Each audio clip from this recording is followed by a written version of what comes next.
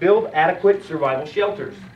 Now, of course, again, Marine Corps, we have a really good acronym for that. It's not really an acronym, it's kind of a phrase. Prepare for some very long, hard days.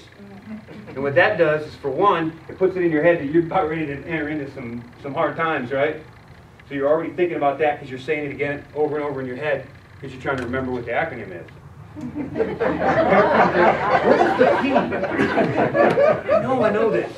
But at least you're saying it over and over and you're convincing yourself that it's not going to be easy, so kind of mental preparation along with that. But the P is protection from the elements, right? Goes right along with your priority and your rules of threes. You need to get out of the elements, be it the rain, the sun, the snow, the wind, or whatever your challenge is in your particular environment. So protection from the elements.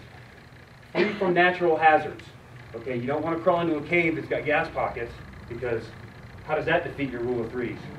Three minutes without air, right? Yeah. that one's not self-policing. You're going to pass out and continue breathing gas. So you want to make sure that you got a nice ventilated area there. So uh, protection from the elements, free from natural hazard, right? Prepare for some stability. Now, if I'm building a snow cave, uh, a quincy, an igloo, in this environment or some kind of a lean-to or I'm crawling under a fallen log, I gotta kick it, I gotta bump it, I gotta make sure that it's stable. Because the last thing I wanna do is crawl in there, hunker down, got a little nice warm fire, the fire melts the ice that's holding this big ledge of rock up right down on me, and it just kind of defeated the purpose, right? I might as well have just stayed out in the elements and took my chances. Okay? So prepare for some very, uh, prepare for some very ventilation. Right back into the gas pockets. Snow caves may not have a gas pocket in it, but you're the gas pocket. Snow caves don't breathe naturally like a regular shelter. They don't have any kind of airflow through them. You got to make sure that you create ventilation. And in a lot of cases, I have my Marines carry a candle. If you are living in a snow shelter that you built, you will have a candle lit. If that candle goes out, guess what? There ain't no oxygen left, dude. Get out. So, right. Plus, it'll provide a little bit of heat. I've actually been in snow caves, and you can get it. You can get it upwards about 32 degrees.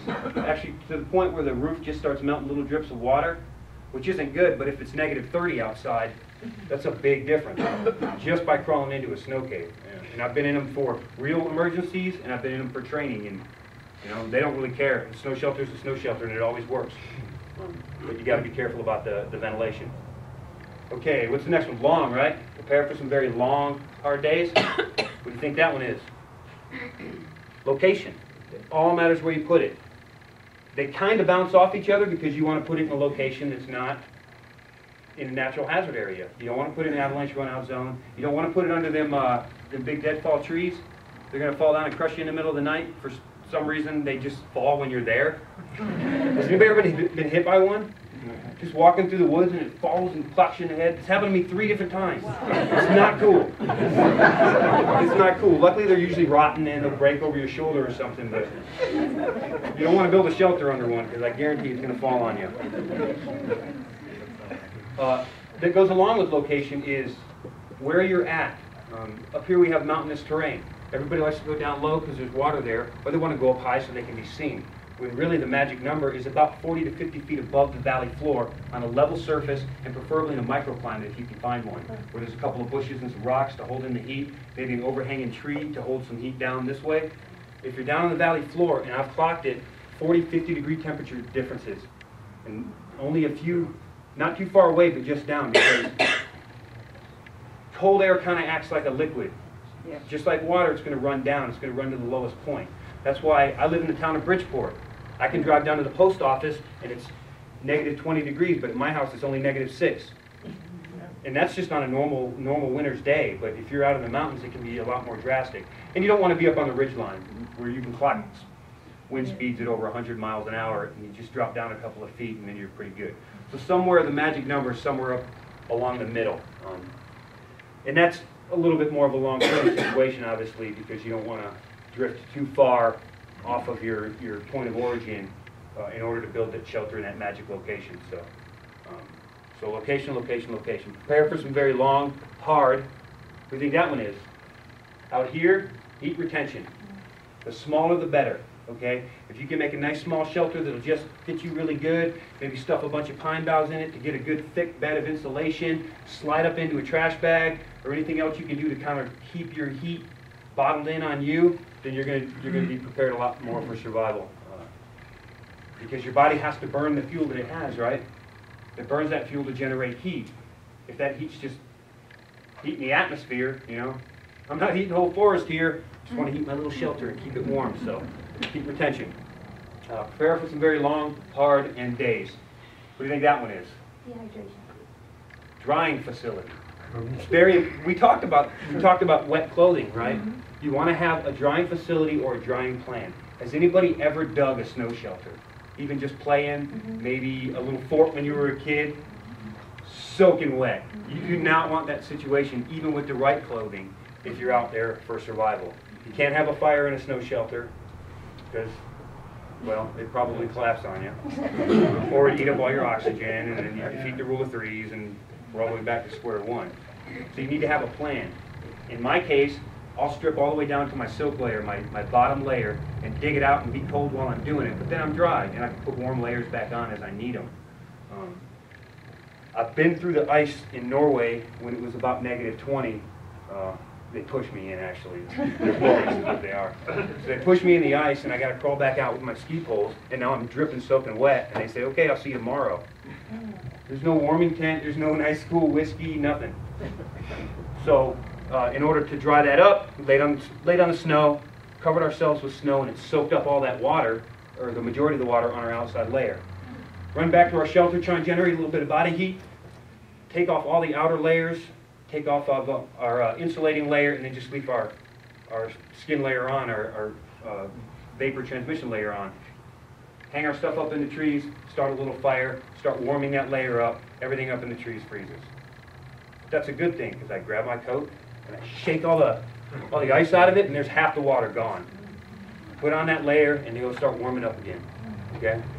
That's a drying plan, that's a plan, okay? That's, that's something, and it's better than nothing. Um, towels and whatnot, you can, uh, I think I have one in the bag there, a little microfiber towel, weighs almost nothing, fantastic for a quick fall in the river, you can jump off, towel yourself off and, and, and push on. And even when I wear this out, because it is cotton, uh, which I, I usually wear this out summer, winter, doesn't matter to me, I always keep a dry pair of uh, synthetic trousers in my rucksack, just in case this gets wet, it's gonna stay wet for a long time. Um, So that goes right along with, uh, the next one, number four, is maintain adequate clothing. Maintain your clothing. A lot of people don't know this, but when you're starting to suffer from hypothermia, you may have seen it before. Their body, it's, it starts burning off the energy to try and stay warm, and it just can't keep up. So what it does is it gives a final, "Rah!" Throws everything it's got at it. You start sweating, ripping clothes off. It's snowing out, white out blizzard. All your clothes are laying on the ground, and they find you cold, frozen in your skivvies. Because their body, it just gives it everything it's got, and then you're done. And they're already, it makes you stupid, right? They're already stupid, so they're not even thinking about all the clothes they're throwing away. You got to maintain adequate clothing and equipment because that's going to be your first line of defense against those elements. That's the way I read it too. Stay hydrated. Always. You always have to have water. You have to have a plan for water. Something I was talking with uh, Julie about earlier. These are what we issue to our Marines on the mountain.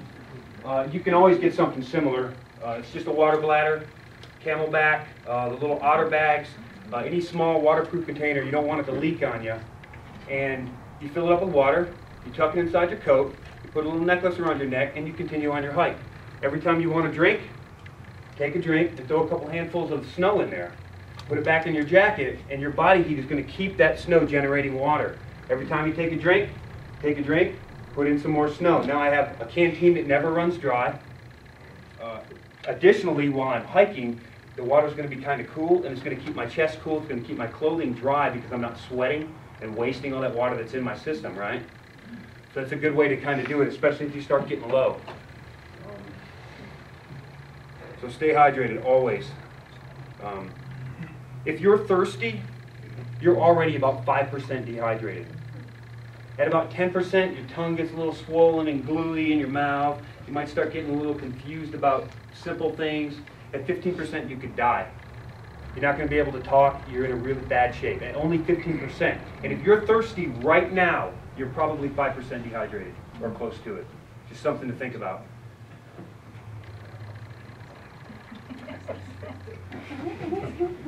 Eat food. if you got it, eat it, right? Your body needs that fuel. It needs to burn those calories. It needs to burn all that off in order to warm itself up. Okay, you can't create heat without without something going into it. At least initially. Uh, eventually, it's going to start burning down those fat layers. You know, polar bears and penguins, they don't die of hypothermia, right? Yeah, you don't see any with abs either. Because they got that extra insulating layer. But if you got food, eat it. And preferably, after you do your work, when your body's trying to recover and you're, you're chilling in your shelter for the night, eat your food before you go to sleep. That way it's, it's being spent where it's supposed to, keeping you warm and getting you through the night.